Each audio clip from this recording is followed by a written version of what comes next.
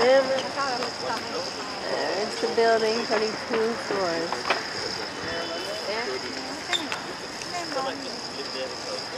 Right you're gonna bother me. Forever enough. Du kanske